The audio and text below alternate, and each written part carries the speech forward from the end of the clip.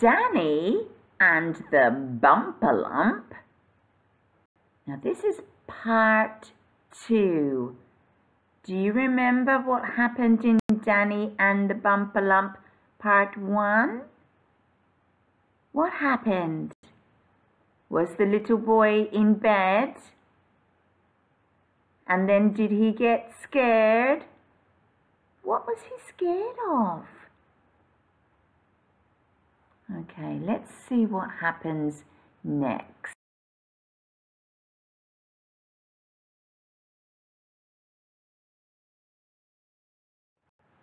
Part 2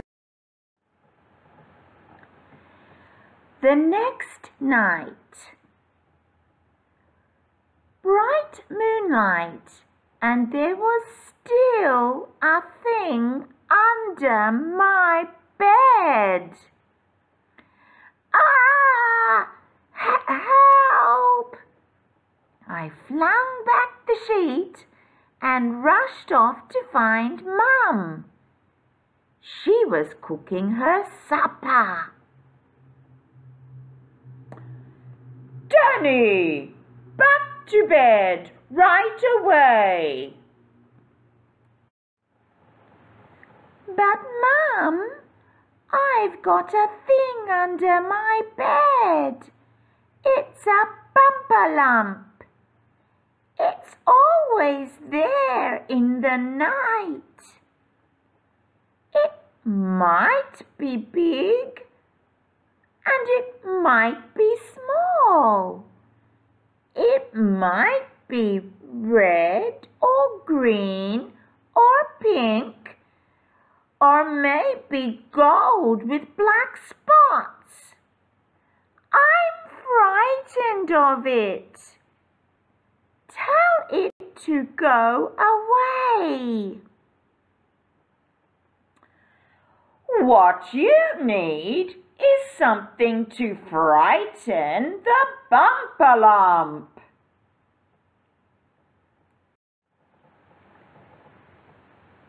I wonder what could frighten the bump a lump children.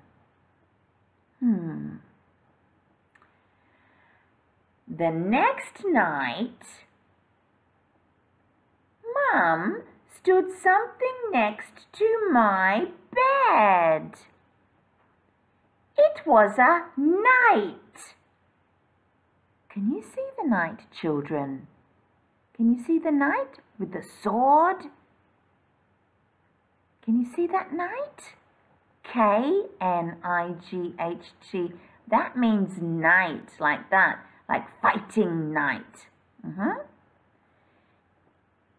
It was a knight, the right kind of knight for a fight with a bump a lump. In the knight's head there was a night light. So then, so then does that mean can Danny see a little bit?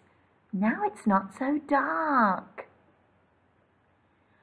I slid between the sheets and shut my eyes tight.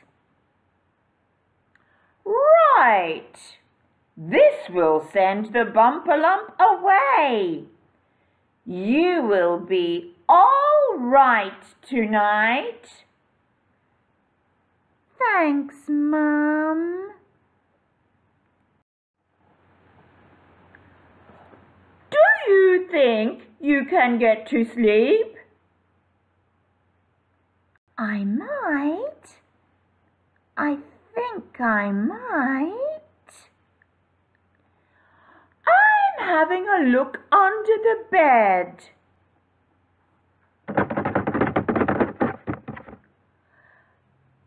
That's not a bump a lump. It's just a bit of fluff.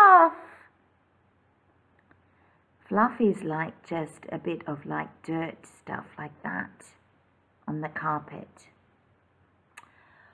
Good night. Sleep tight. Kiss, kiss.